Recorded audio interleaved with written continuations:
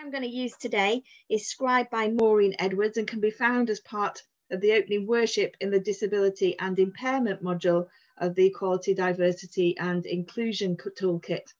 If you've not seen that toolkit, um, it's on the Methodist Church website. It's a really uh, good read, really helpful resources within it.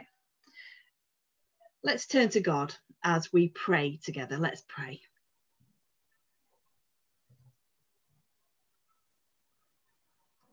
God of love, increase in us an awareness of the Spirit who leads us forward across new boundaries to discover Christ in all whom we encounter. Make us sensitive to the spirit of honest inquiry. Amen.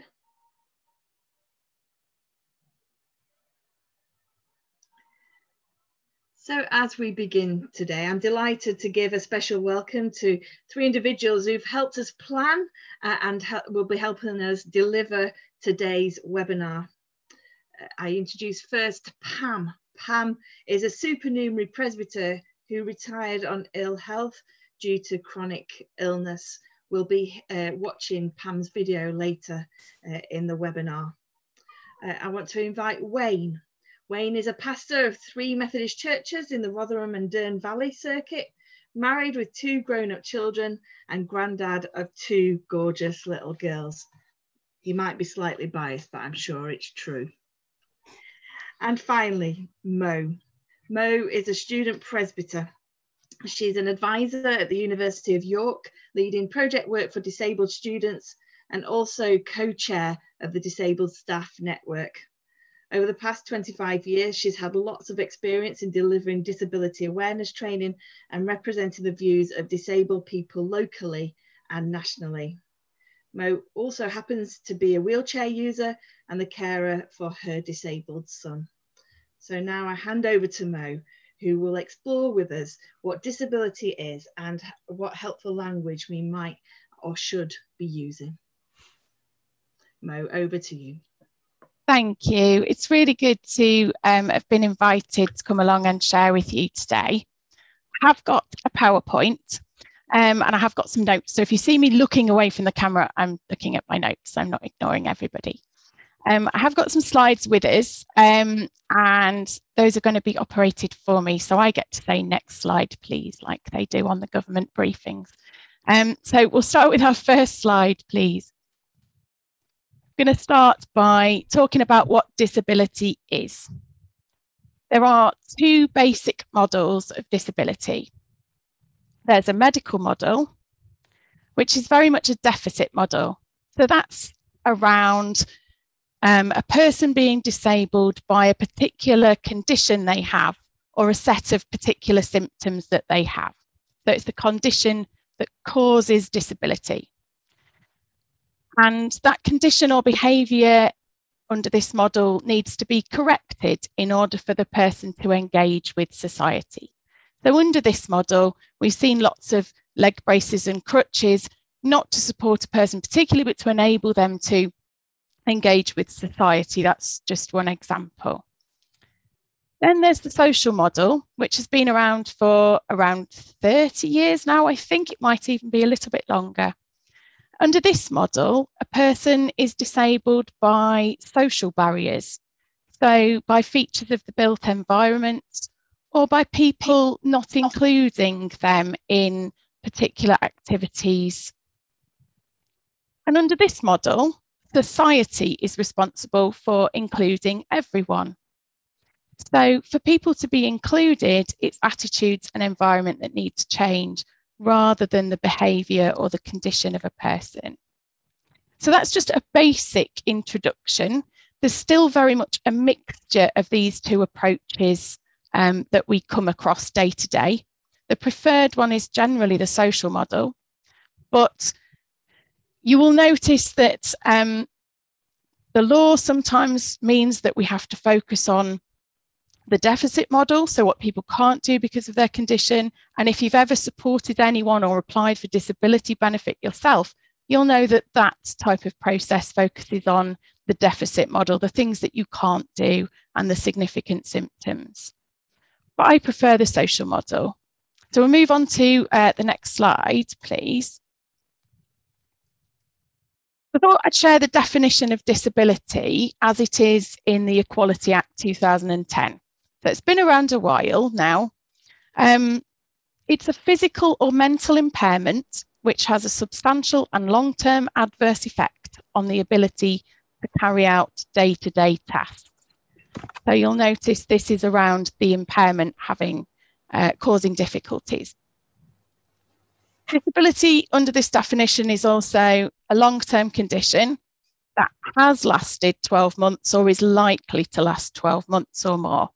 So some people are included in this definition from the point of diagnosis and some aren't. There are some very specific conditions that are automatically included from the point of diagnosis. So, cancer, HIV, and multiple sclerosis are all included from the point of diagnosis.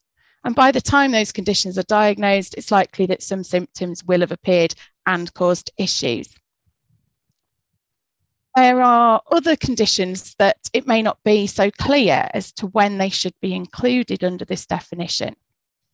Variable conditions um, can be included from when they first have a substantial effect, and then they continue to be included through periods of remission if the condition is likely to reoccur or the substantial effects are likely to reoccur. And they're also included with or without medication. The possible examples of this type of condition could be depression or diabetes or epilepsy. There are many more, of course. Progressive conditions such as arthritis are included from when they have a, a substantial effect at first as well. And that definition still includes those who've had surgery. So, for example, joint replacement surgery and are getting around okay again, that's still included under the definition of disability. So those people included under the definition would be protected in employment, for example, and accessing um, different uh, activities and places um, to go to, including places of worship. Um, so it's something just to, to bear in mind, really. Disfigurement can also be included as a disability. Under the regulations, the word is severe disfigurement. Um, but it's it's not clear what severe is. So um, disfigurement can also be included, and it may depend on what the activity is as to whether it has a substantial effect or not. Um, so that's just a whistle stop tour of what the definition of disability is. There are many schedules under the Equality Act that describe a little bit more detail about how um, that's to be put into practice. But I don't think that's for us to worry about today because this is just a brief introduction and some hopefully helpful tips on on um, being around and talking to and about disabled people. Next slide, please. Thank you. Um, there are several types of disability. There are so many impairments. I'm not going to sit here and list them all out because I don't think that's going to help. So some people will call a, a particular condition an impairment or a disability. And it's not necessarily important when we're referring to that in a broad way. So, if we're talking about disability in a very broad way, the language around that doesn't feel too important. But when we're talking about individual impairments or individual people, it can start to become important. So I've put just some um, types or sort of groups of, of disability on here. These are in the EDI toolkit as well, although I think I've added a couple and I've phrased some of them in a slightly different way because the language is always changing around disability. Um, so it's not always easy to get it right because the language is always changing, and I certainly don't get it right all the time. So there are sensory impairments. So under that category would be deaf people with a big D or deaf people with a small d.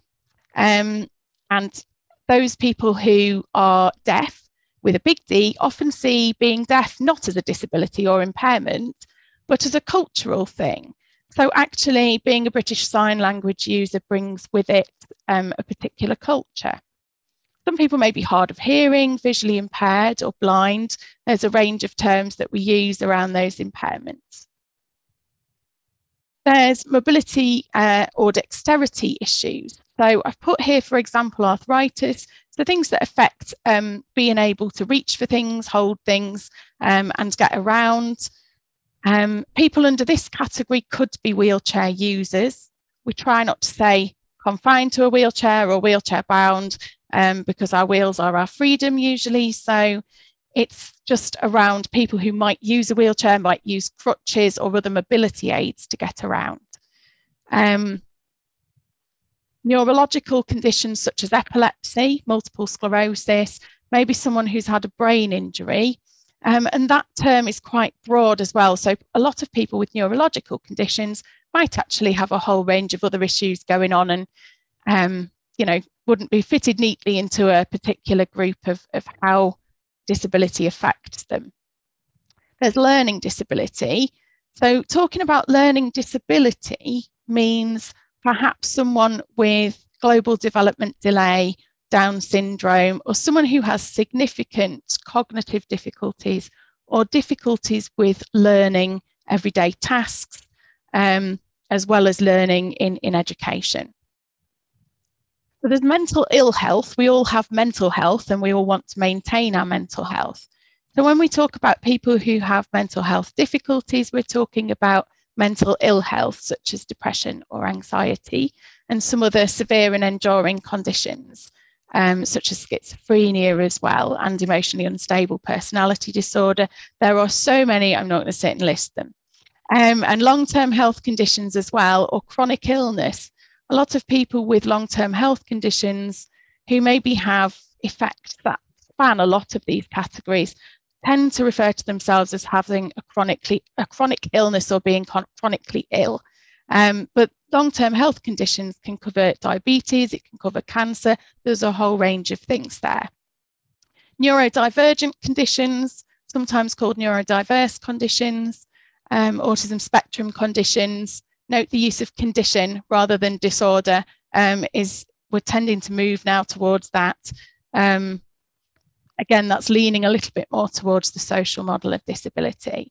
ADHD might come under the neurodivergent conditions as well. And also specific learning difficulty or specific learning difference is also a type of disability or impairment that would be covered by the Equality Act, things like dyslexia, dyspraxia, and other things that affect people's learning in the classroom and also affect accessing the environment um, around and about. Not every condition fits neatly into one of these boxes.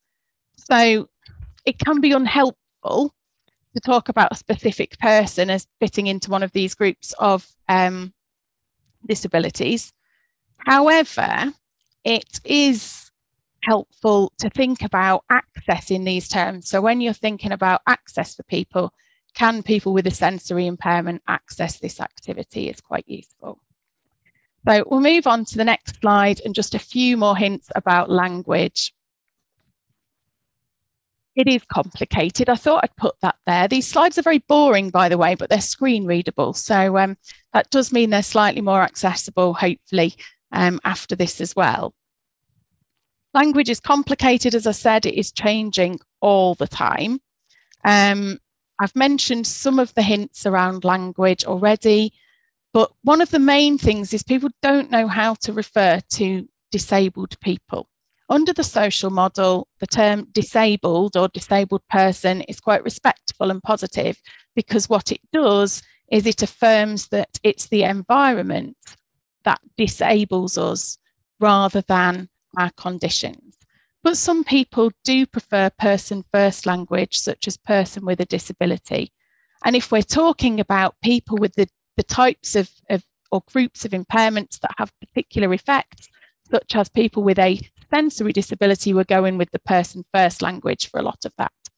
Um, although you might find that people um, tend to pick and choose. So it's worth just listening to what a person actually says about themselves, how they frame that, Um, you know, most of us like to be known by our names, but if you're talking about our conditions, then um, you know, listen to the language that we use around that really.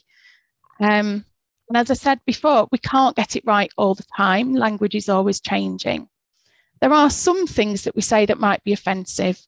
Um, so it is worth being careful with our language. So it's tended to be um, pointed out more often recently that words like mental or insane, where we wouldn't use those words to refer to someone experiencing mental ill health anymore, people have started to use it in general language to describe a particularly busy environment or difficult situation. And that can often be quite unhelpful because people who have been called those things as an insult are now hearing it in everyday language. So it's just thinking a little bit before we open our mouths, which I know I struggle with. So, um, you know, I think we can't get it right all the time, but please just um, the best thing to do is to take feedback about language graciously. So that's that's the end of that first little bit. Um, and I said that I would share something of my story as well. Um, I don't know if um, you want me to carry on straight into that, Carla. That'd be lovely, Mo. Yes, please. Okay. I'm sorry that you're hearing. Oh, sorry. Sorry, there'll be opportunity for questions uh, uh, and uh, later in our program. So, Mo, yes, we'd love to hear your story, and there's nothing to apologise for. We're, we're delighted that you're here. Thank you. Thank you. Yes, as I say, I was saying, you will hear a lot of me today. So, um, I was going to share something of my own story. I have a lifelong joint condition called hypermobile Ehlers-Danlos syndrome, which is a bit of a mouthful. Um, and it's one of a group of conditions called hypermobility syndromes, which means basically our joints move too much. It's essentially caused by faulty collagen. And in most people, our joints are held firmly in place by ligaments, and our muscles help support the ligaments to hold our joints together. And as we get older, our joints tend to get stiffer naturally. Um, but in a hypermobility syndrome, what often happens is our ligaments stretch too much. And so our muscles have to play a much bigger part in holding our joints together. And I often say that my ligaments are a bit like well chewed gum because they've become much more stretchy over time. So as I've got older, my joints have got looser and they've started to dislocate a lot more easily, making everyday tasks a lot more painful. So um, I've got braces for just about every part of my body. I think the funniest one is the middle finger brace from when my middle finger dislocated and stuck up, which was rather inconvenient, especially for a preacher. Um, and you know, I've I've struggled a lot with painful joints throughout my life but it also affects my insides. So my insides are a bit stretchy as well. So um, I won't go into details, but I've had a lot of gastrointestinal issues um, and regular chest infections and things as I've been um, growing up. Um, and I still get those now. So I haven't always known that I've got EDS, and I used to fall over a lot as a kid. And my mum was a social worker, and she used to dread taking me into A and E when I'd fallen over and hurt myself again and bruised really easily. Um, it was when I was about eight that um, a GP noted that my knees were unstable, but proceeded to tell my parents that the pain was all in my head, so I should just get on with everything as normal and uh, I would be fine. But that was really the start of about 28 years of trying to get a diagnosis. Um, during which time I had loads of gait assessments, shoe inserts, adaptations, various mobility aids, knee surgeries. I moved jobs to one that was less physically demanding. I had to use a wheelchair for long distances as I got into my 20s. And yeah, during that time, I also got married and had a baby. But I'll tell you a little bit more about my son a bit later on, um, as he's also given me permission to share something of his story. So in 2002, I began training as a local preacher and was basically pretending to be fine when I was in the pulpit, although there were some pulpits I didn't use because I knew I'd just fall down the steps if I accidentally uh, got my footing wrong. So I don't know why I carried on doing that, trying to pretend to be fine. I even had to ask for an extra chair for my leg at my first interview because I'd just come out of knee surgery. Um, there was only one occasion, I think, where I dislocated my knee um, at the end of a service. I just finished giving the blessing, stepped down, and then ended up in a heap on the floor and had to go to hospital. Um, which fortunately was a parade service. So there were all these people around me and it disguised it really well. Almost got away with it. Fortunately, I was at my home church when it happened. And I've always been involved in like disability awareness sessions and things since I was about 15, and then more formally when I started working for the council at York. Um, and I also represented fellow disabled employees um, when they needed support as well. So it's a bit strange that I didn't want to be fully myself in church, even though I was open and talking about my disability everywhere else. Um, it was only when I decided that I was going to um, have to use a wheelchair all the time, and I was going to have to sit down to preach, that I decided I would have to like come clean and tell people about this in church. Um, and when I did, it was well, slightly bizarre, really, because not only did I get quite a positive reaction from those in the congregation, and they came forward with their own stories to me as well that they had felt afraid to tell. I also got called um, to candidate for ministry at that point, um, which I wasn't expecting. I thought God had let me off the hook, but no, that wasn't the case. It was now time to go further forward with this. So um, yeah, it has been a bit weird. People do act strangely sometimes when I rock up in a, in a wheelchair um, as the preacher, and some people have tried to offer me healing at the end of a service instead of a handshake. Um, so it has been interesting to negotiate those sorts of things. Um, but I'm also carer to my my son who has a learning disability. He also has um, cerebral palsy, and so when we're out together, people tend to assume that he's the able bodied one and he's fine because he's quite tall and he looks, he doesn't look disabled. But he actually, um, when he was born, he wasn't breathing and he had to be resuscitated and have a lot of treatments. And he was having seizures um, as a newborn. So he was diagnosed with CP at eight weeks old.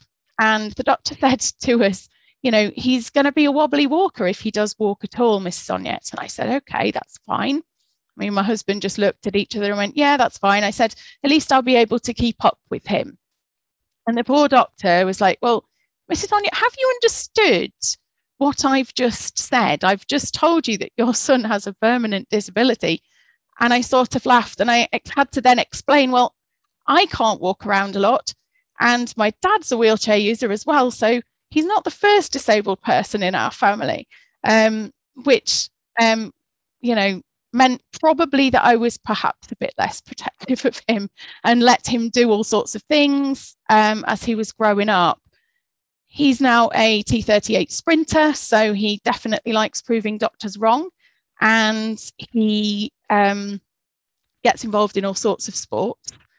He has a learning disability, which only really became clear kind of as he was getting towards um, GCSEs, because I think teachers had been keen, because he looks fine, to not understand how significantly that affects him. But now that's recognized, he's become a lot more confident and he's able to do things. So much so that he's decided, um, well, he decided earlier this year to go for the one opportunity internship, and he's doing that at our local church.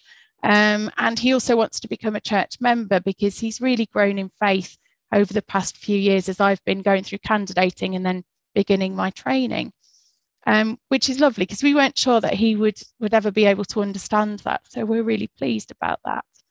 Um, he does have serious anxiety relating to people not understanding that, that he's disabled.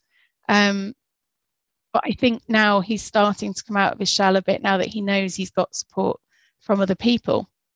Um, I won't go on, I could do, um, but just I did have a picture of us both because it's hard when you're sat here. You're just seeing the top part of me. So you're not seeing what we look like. So that's me in one of my many power chairs. I've got different ones for different situations. Um, and that's Dan just before he went to an awards night at the rugby league final because he plays for York City Knights learning disability team and they were having an awards night. So he bagged us some free tickets to the final. So uh, go Sporting Son and keep doing things like that. so yeah, thank you for, for showing that. I'm going to stop there because I think you've heard plenty from me. Thank you so much, Mo. It's just wonderful to hear your story, but also to see that fabulous picture of you and Dan. Um, and we thank you for um, sharing your wisdom at the beginning as well around um, disability. So we're going to go into breakout rooms for a few minutes now. They're small breakout rooms, just three or four people. So please do take the opportunity just to say hello to each other and who you are. Um, and then we'd just like you to um, think about what resonated um, from Mo's story, anything resonate for you. And then if you could also bring back any questions that you might have. Um, and um, we might have to hold some of those for the end, but we hope that we'll be able to pick up some questions as we go through. So my name's Graham, Graham Jones. I'm a colleague of Carla's and Rachel's in the Learning Network in this region. Um, we hope you had uh, a good time in your groups. Uh, short it was, but hopefully sweet. Um, so what we'd like to invite you to do now, um, just briefly, is to lodge any questions you might have or comments or anything that resonated with you. If you could put that in chat, that would be really helpful. Um, and uh, if that's not, if you if you'd find it easier to unmute yourself and voice your question or comment, then please feel free to do that. But uh, otherwise, if you're happy to put any questions or comments in chat, um, we will seek to address them uh, and respond to them uh, towards the end of the webinar. And if, if that proves impossible um, due to time pressure or, or whatever, then we will uh, uh hope to respond to those questions uh, via email after the webinar. So um, if I can just invite you to put those questions and comments uh, into chat and we'll just have a couple of moments while we're doing that. Um, but as I say, if you'd if you'd rather unmute yourself and voice your question, someone, uh, well, not someone, Rachel will uh, will uh, note down that question if that's an easier way of doing that.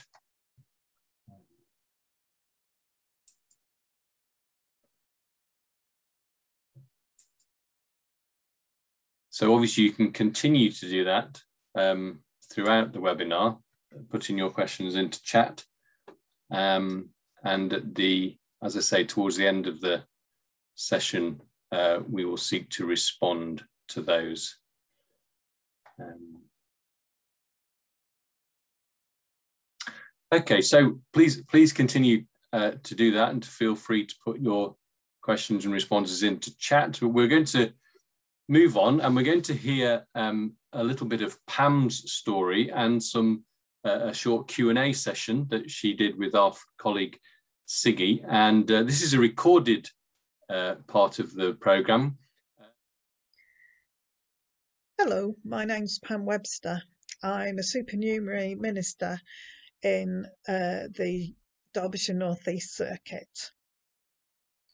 Until 2005, I led an active life. I was busy working as a circuit minister and for leisure was always going somewhere or doing something, cycling, climbing hills, walking for miles, and mostly talking for England. Then my life changed. There were already some hints that not all was right with my body. Eventually, I got a diagnosis of a rare chronic inflammatory condition like Sjogren's syndrome. It affects my eyes, my skin, my joints, my swallowing and digestion, my balance, and my lungs. Meaning recently that I just get recurrent chest infections. Basically, anywhere in your body that should have lubrication, in mine doesn't, or not very much. And that affects far more than you would think has become more and more debilitating as time has gone on. and I find myself frustratingly limited in what I can do. As lockdown begins to ease and activities move back towards physical places rather than online, I wanted to share some of the obstacles that I find in church life in the hope that they might start some conversations or give some pointers to the kind of questions you might want to ask someone to see if you can make their physical experience of church better for them. It is important to say that my problems are not unique and they are not all the problems that are possible. I'm using my example to give an idea of some of the problems that people can face. The problem with a lot of disabilities is that disabilities are not necessarily visible, and you wouldn't know that someone is dealing with them or that they needed help. None of what I'm going to say are criticisms, they're questions pointers to make us think about our church buildings. I'm also acutely aware that my accessibility may mean someone else's inaccessibility. Someone, something that is there to help me may be making someone else's needs impossible to meet. And for that reason, the conversation needs to go on. The first question we asked when we moved to this circuit two and a half years ago was which church has the comfiest seats? That might seem a really trivial question, but to me it is vital. And without without which physical church in a building would not be possible. I'm incredibly grateful to have a blue badge. But that's no help to me if there was no if there's nowhere near enough the building to park or someone without a blue badge has parked in it. What about the entrance into the building? Is it level? You would be amazed how big an obstacle a raised door frame at the bottom is. When you're wobbly, in a wheelchair, even with a pushchair or just got your hands full, that's a, an obstacle. Is the door too heavy? Can someone open it by themselves? Is there someone to open it for anyone who needs it? Remembering, of course, that it might not be obvious who would need help. When I get in the building, can I find an appropriate seat? I really need to sit with my right leg in the aisle, preferably with a large space between rows. Pews are quite simply an impossibility. I wonder if someone would let me have the seat that I need, if I was brave enough to ask. Or would I be accused of taking my seat? We've all been there. Can I sit at the back or the front, if necessary for my disability? Is the seat comfortable? Is it high enough? Can I shuffle and change my position in it to move the pressure points? A lot of people with disabilities are very energy limited and cannot arrive in church half an hour early to get the seat they need. Or it takes a very long time to get going in the morning and to be up and out of the door. They may need to arrive at the very last minute and need to be able to have the right space. What is the lighting like? I really struggle with lighting. Is it too bright or not bright enough? Everybody's needs are different. Is there the possibility for some individually controlled lights? That also applies to screens. Are they in the right place? Are they legible? Are they too bright, too dark, or using the correct colour contrast? Different colour contrasts work better or worse for different people, so it can be tricky. I'm fortunate that I've been given my own individual screen at our church, so I can set it up for the setting I need. Is that a possibility in your church? Likewise, if videos are used in worship, can they be seen and heard by all? Is there some way their point can be explained? I love a video in worship, but can rarely process them in that kind of space.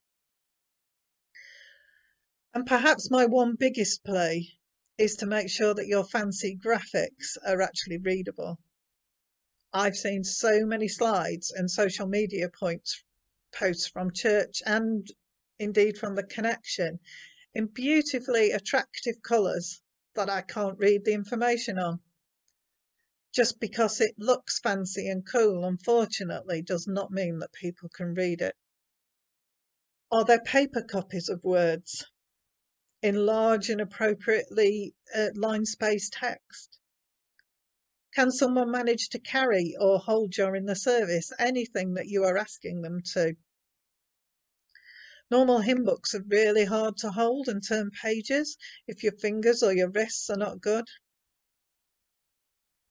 In breakout groups, can everyone understand what you want them to do? Is everyone able to participate? Can everyone hear, process, and respond in that environment? Can there be an alternative option? I think we also need to be really careful about how we use language. One example is do we invite everyone to stand to sing when not, when not everyone can stand or sing? Do we use phrases like everyone can do this? Can they? Is our service very singing focused? My illness means I can't sing. I appreciate what a great tool in worship singing is, and one I always used a lot. But if someone can't sing, are they excluded from worship in a big way? Do we speak at a speed that people can hear and process? It takes me a long time to hear what you have said, process it in my mind, and then respond. This applies even to things like the Lord's Prayer, which I have to dredge from my mind and process through my brain before I can say it, which is much slower than most. I'm usually a couple of lines behind and give up.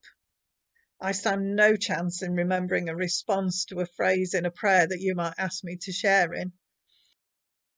And how does celebrating communion together work? Is there a way to be a part of the body if we can't kneel together at the rail or even stand at the rail safely? Have we found a practical way around that that includes everyone? And what about after the service? I love to share fellowship, to hear how people are and what's happening in their lives. It's probably my one opportunity to speak to people in a week. But it's incredibly hard to have that conversation in a noisy room where everyone else is eagerly doing the same. Is there a quieter space where everyone who needs to, where, where anyone who needs to can go and talk without the aural distraction? No church can meet all these needs, but it is good Christian living to be aware of others' needs and do what we can to make church buildings and services as accessible as possible. Have we at least thought that there may be needs and ways we could work around them and with them. Please don't assume. What is most important is to ask people what works best for them and be willing to do all you can towards that. But also, don't forget those who won't say anything, who don't want to make a fuss. Try and think what might be excluding somebody and ask what would help best. And it's important to remember that as some joyfully go back to meeting in church buildings, there will be those who can't access physical church at all. How can we continue to meet their need and not re exclude those who have found during lockdown that they have access to so much? But maybe that's the subject of another webinar.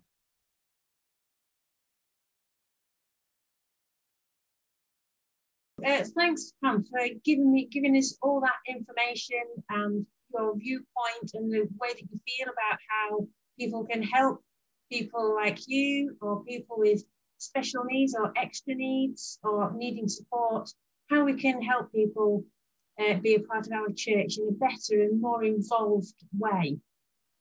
So I just wanted to pick you up on what you said about the pews when you were saying that for you it was just a non-starter.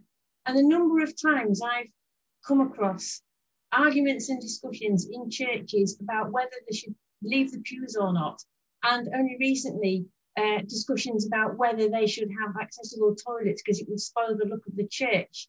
And to me, it's why is anybody even discussing this? It's, it's not a discussion point. It's a you do this for me, but clearly there are other people who feel differently. And I wondered when you come across attitudes like this, how it must feel for you for people to think that there is a choice in the matter as to whether they become a more accessible and accepting and welcoming church. To be quite honest, it, it makes me feel unwanted. Um, mm. if, if you're not willing to do a relatively small thing to make it possible for me to come to church, um, am I not am I not important? Does it not matter if I'm not um, a part of your church? Um, and I guess the the biggest danger of that is um, it, it's possible for people to read "I don't matter to this church" as "I don't matter to God," um, and it being a reject a rejection by the church is a rejection um, by God. People are frightened to ask. Um, some people who need help don't like being asked and others would prefer that one did because then they can get the help that they need. What's your take on that? Um, yeah, a few years ago, I decided if I didn't tell people what I needed, then I couldn't complain that they weren't giving it me. Mm-hmm. Um, if I tell people what I need and they say no, um, then we all know where we stand. Um, and um, it, it's it's important to not assume what people need um, mm. and to either offer them the wrong thing or not be giving them the right thing and what looks like what we need might not be exactly what we need so i, I think it's important um, it's important for people to be willing to talk on both sides so that we can at least understand not everything's ever going to be possible because it's it's just not you know not everything in my house is perfect for me. I just have yeah, to yeah. you know uh, do what you can. Um, but at least if we're talking we we know what might be needed. And in any future plans you know what might be important to take into account. And as I also said, different people might have different needs that conflict with each other. So you know you you've got to find that that balance. But unless you talk to people, you don't know what what their need is. If you can't see a disability, there there isn't one. How how yeah. can a church, or is there anything a church can do about that, or is it really up to the person to be asking for help when we might not be able to see that there is an issue for them? Um, I think it's it's important for there to be an awareness that people might be struggling in ways that you don't know. Um, and and yeah, not to make assumptions, but it's also maybe up to the person who has those disabilities to say something, however hard um, that might be. I think it would be that it would be just don't assume that you know what's happening in someone else's life. So much to Pam for sharing her story, some wonderful insights there um, and some pointers. And thank you to all of you um, who are putting links to resources in the chat. We will save that and make sure that all that information is sent out to you. Um, we're going to come now to Wayne Ashton, um, who's going to share something of his story with us. Thank you, Wayne, and welcome. Thank you ever so much. Thank you so much. And uh, thank you for the stories we've heard. Can I say a hello to my lovely friends from my Barnsley circuit that I've spotted and I still miss you. Um, I'll be honest with you, I've never ever spoken uh, publicly like this about my disability. But when Carla did ring me, um, I said, Can I make something very clear? I have a disability, but I am in no way disabled. And that's the way, as, as Mo said earlier, people choose to deal with their situations which are pertinent to them and relevant to them. To them. And that's the way I've chosen to, to look at my story. I have a disability, but I'm not disabled. Uh, up to the 30 years of age, I was absolutely fine, fit, healthy. I was a swimmer. I did lots of things. Uh, we just had our first baby, our first little boy. Life was a bed of roses. It was, it was absolutely wonderful. And then on the 28th of February, I suffered a massive brain hemorrhage, a subarachnoid hemorrhage, um, which robbed me totally of my left side. And I remember at one point I'd been given 24 hours to live. So when my wife came to the Hallamshire, I said, look, I might not be here in the next 24 hours. Is there anything you want to ask me? She said, yep. How do you put petrol in the car? And I immediately started to laugh. And I'm convinced to this day that that was the first stage in, in getting better, first stage in moving towards something positive. And I'm, I am blessed with a sense of humour. It's not everybody's sense of humour. I upset more people than I can imagine, but that's just the way I tend to deal with things. And as I said, I was 30 years old and it happened the day before my son's first birthday. So I always said I've got a lot to get better for. I, I survived 24 hours. In fact, I've now survived 32 years. So they did get that prognosis a little bit wrong, didn't they? As I say, I lost the, lost the whole of my left side. Fortunately for me, I could still speak, thank goodness for that. And um, I spent nine weeks in hospital and then a further 12 weeks to rehabilitation unit learning to walk again. I went in in a wheelchair and I walked out, albeit with a limp, which I still have.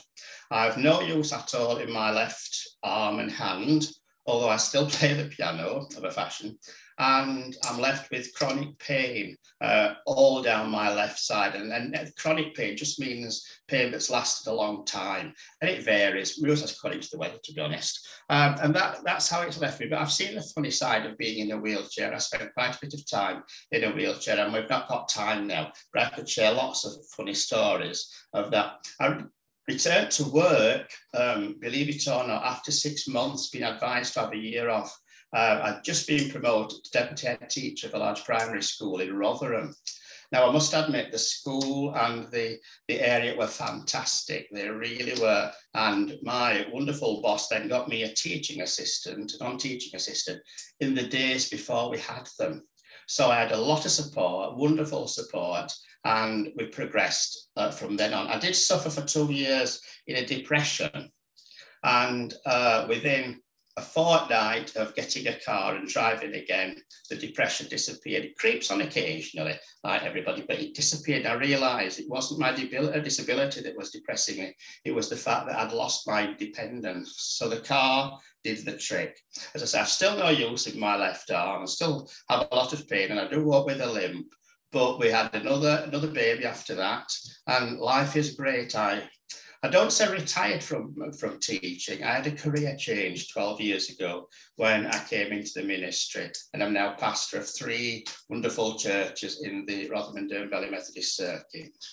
One thing at school I didn't want to mention, um, one thing that concerned me is how the kids would react primary school, year six. And I can honestly say I've never heard anything behind my back. In fact, the rumour was that I walked like this. It's because I got where I got shot in the war.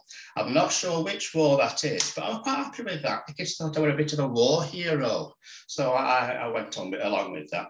As I say, I run three churches. Um, there's nothing really that I can't do because I've adapted so well. I must admit, I've done so well with, with my right hand. There's very, there's very little. And I always say to people, if I need help, I will ask.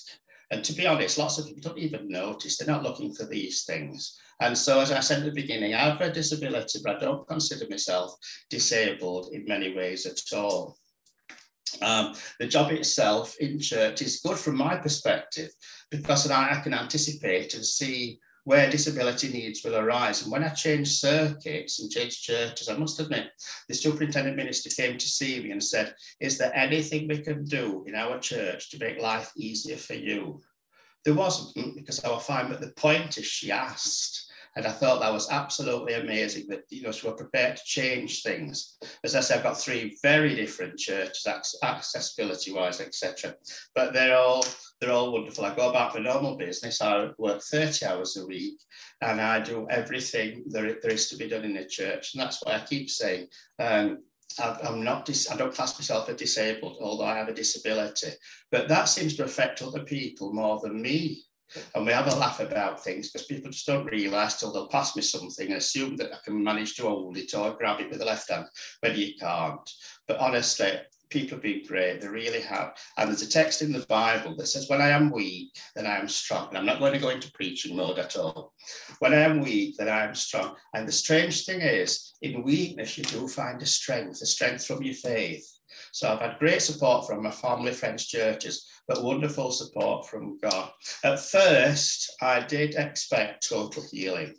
I was convinced God would heal me and I would run about and skip and swim, uh, swim and play all my instruments again. I realize now the healing is a different process altogether. I've been healed by what I can do in a different way. And I must admit, in, in the lockdown and going back to church, it's been exciting for me in my congregations to look again at how we can go back in a different way from this perspective. So life's great for me, to be honest. but I've had a great time. Learn, I learned to live with it, cope with it. You have your good days, you have your bad days, whether you're disabled or not, and you just go with the flow. It's the first time I've shared my story ever. So thanks for listening, and I look forward to answering any questions that you might have. Take care. God bless. Thank you so much, Wayne. Pleasure. What a joy. Okay, so we've got plenty of time for our next breakout room, and we want to give you an opportunity just to think about what difference should hearing the stories from today um, make to our churches. So, what difference should it make, uh, and what can perhaps we do? And you're going to have a good 10 minutes. Back, everyone. I think most people are back. Um, so, we hope you had uh, another good time in your breakout rooms and uh, good conversation. Uh, there's already been so much uh, really helpful and important uh, contributions to chat. So what we're going to do now is I'm just going to invite um, Pam and Mo to respond to some of the issues and questions that were raised in chat earlier. I would encourage you to continue to contribute to chat with questions and contributions that you have. Um, and we may have time for you to actually ask other questions as well in person. But we're just going to start with, uh, I'm going to invite Pam to respond to something that was in chat earlier. So over to you, Pam. Hello, everyone. It's nice to speak to you um, live. Um, just a couple of things that I saw scrolling through um, the chat. One was about prayers for healing. Um, healing is such a, a, a thorny issue, and um, whether people consider you need healing.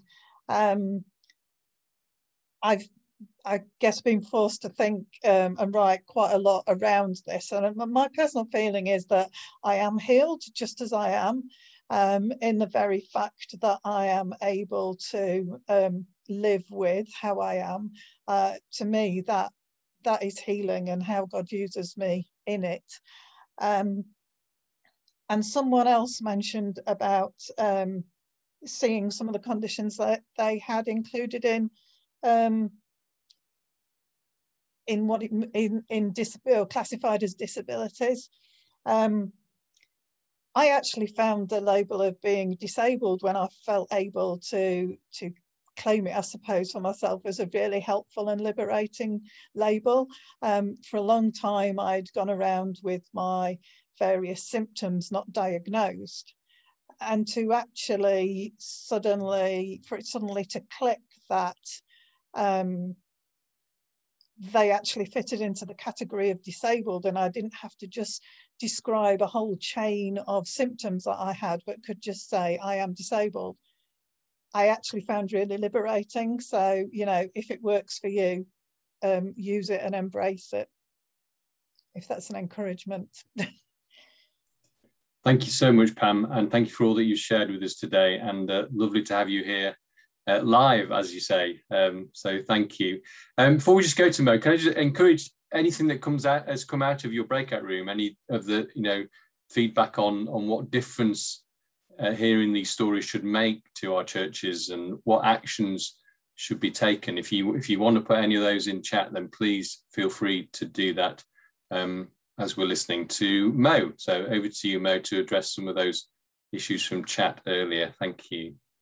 Yeah, I picked up um, some of them. Someone asked about dementia and where that fits into the Equality Act. Dementia is usually a progressive condition, and from the point it becomes a barrier to situations and places and engaging with people, any sort of substantial effect, then dementia becomes covered by the um, Equality Act. I think, though, it's not necessarily helpful just to consider when someone's covered by the Equality Act, but when someone's got symptoms that might make attending church difficult, might make engaging difficult, that's really when we start to think, okay, they need a bit of support to be included. Um, and that's perhaps a more helpful way to think about it. Um, someone else asked how to engage with people with severe learning disabilities. I wasn't sure whether you meant as, as a group of people or as, a, as individuals in church. I would say generally engage with them as individuals because people with learning disabilities are going to have totally different ways of engaging between one person and another. Um, but the best thing to do is talk to them age appropriately um, you know, and and include them as much as you can. And the people supporting people with a learning disability, if they've got someone supporting them, can help you with that and offer advice. But it's best to talk to the, the person. And there are a lot of groups in each city or town or wherever who will be working with people with learning disabilities or will have some ideas for you as to how you can advertise events and include people uh, or engage them in your church activities. Um, hopefully that's that's a helpful thing to say there. Um, other people might want to chip in later about that. Um, also, there was a question asked about whether ignoring wheelchair users has changed over the years. Um, having grown up with my dad being a wheelchair user all his life, so I've I've always known him as a wheelchair user, and I don't think it's changed because um, people uh, used to ignore my dad. So we were hiring a car on holidays, one example, I, and the person started asking me questions about the car. And I'm like, I'm 12, ask my dad, he's the driver. Um, you know, don't look at me. I know nothing.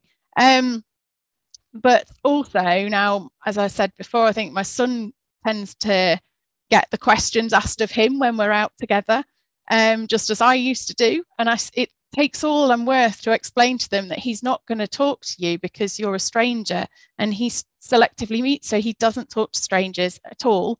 And um, because they're not listening to me, that's quite a difficult thing to get across sometimes. And I have been known to have a bit of fun with the fact that I'm fairly invisible in some places. Um, but I don't think it's changed. And it's even more confusing when me and my dad turn up together as wheelchair users uh, especially when we collected my mum from hospital after a hip operation. And the doctor said, um, So who's taking you home? And uh, we went, We are. and the look of surprise on his face was, was quite something. It's like, but if anyone knows how to deal with this, we do. Um, so, yeah, I, I don't think that's changed, sadly. I, I hope that it will.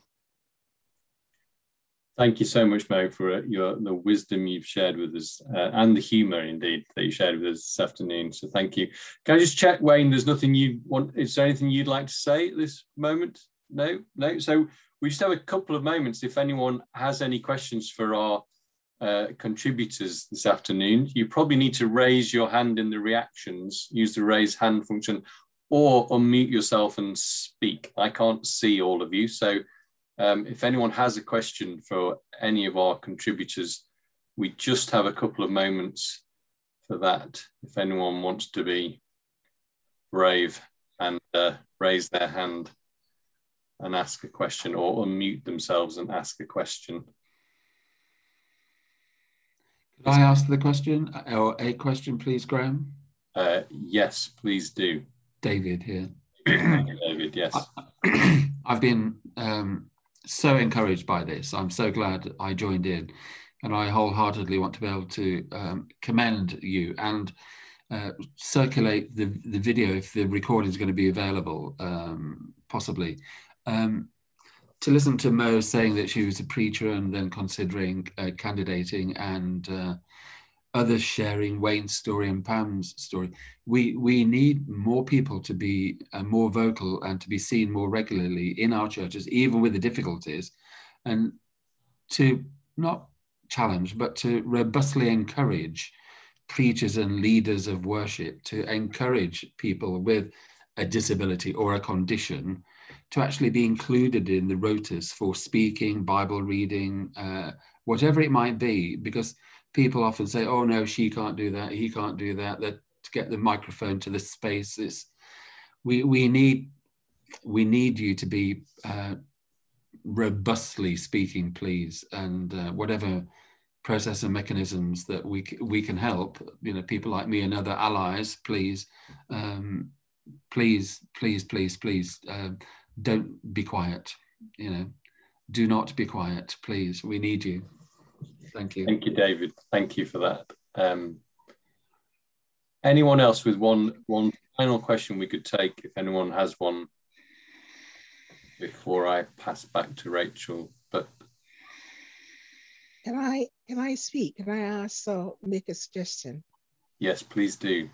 Um, I found what um, answer so helpful because she gave us some practical issues that, you know, most of us perhaps don't think about.